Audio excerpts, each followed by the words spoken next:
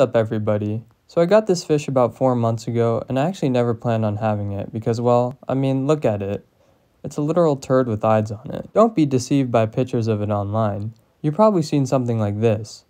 But in reality, you'll see something like this at the fish store. I originally wanted a starry blenny, and I was so set on having one I ended up waiting a year before I chalked that up. You could say, hey, why didn't you buy it online? Uh, shipping. Not to say I didn't find a starry blenny, they're just too big, like really big, like hot dog size big, or cost way too much.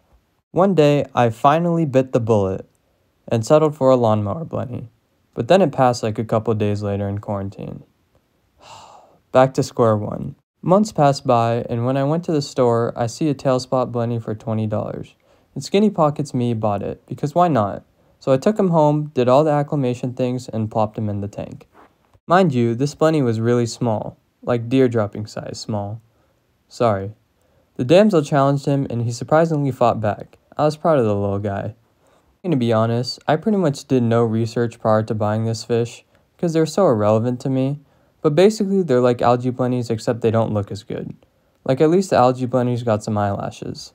One big advantage, however, is that they stay small at a max size of 2.5 inches, unlike the algae blenny, which can grow to a whopping 5 inches. Get this little turd wrong though. This thing got an insane appetite. I don't know where it comes from, but let's just say this guy took care of my green hair algae problem in my 75 gallon tank. Obviously, as you can tell, there's a lot of it on the rockwork, it seems like this guy can only eat on smooth surfaces, but regardless, it helped a lot with my green hair algae problem. For a fish the size of a finger, being able to clear a part of a 75 gallon in a week or two is no normal feat. Now I didn't have a crazy algae problem, but that amount of algae in a smaller tank would be considered overrun. An algae eater, I don't believe this fish is worth getting for a small tank. If you get a fish like mine, by the time it eats all the algae, you're going to be supplementing it with algae, which just ruins the whole point of having it. But if you just want a blenny, the tailspot blenny is a much better alternative than the algae blenny, because it needs less food and less space. I could have got lucky, but I think this fish's best attribute is the fact that it's got balls.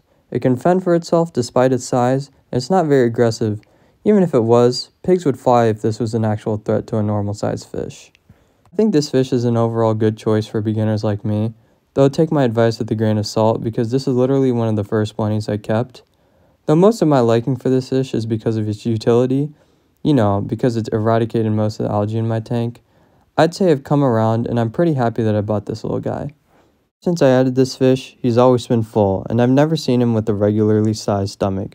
So make sure to keep these guys well fed and have plenty of algae in your tank for this to feed on. If not, make sure to supplement their diet with nori or algae tablets. In the end, this is a great choice for a small fish. And next time, I won't wait a year to not buy this fish.